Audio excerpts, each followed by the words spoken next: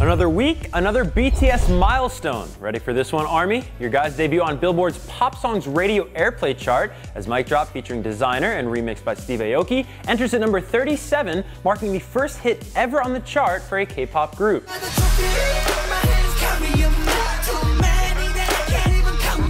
This is just the second time in the chart's 25-year history that a K-pop song has reached the ranking after Psy's Gangnam Style hit number 10 back in 2012.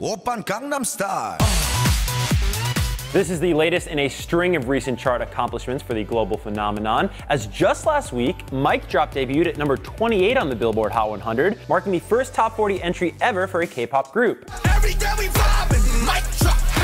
since Army loves the stats when speaking about airplay, if you want to know who to thank, KJYO Oklahoma City, Oklahoma led all stations with 56 plays for Mic Drop in the week ending December 10th, according to Nielsen Music. KJYO was followed by KROI Houston with 40 plays, KLLY Bakersfield, California with 39, and Radio Disney with 37. For more on BTS and the latest chart news, Gary Trust has a great article available now for you to check out on Billboard.com, and feel free to let me know how you're feeling about the Mic Drop remix down in the comments. Until next time, for Billboard News, I'm Kevan Kenney.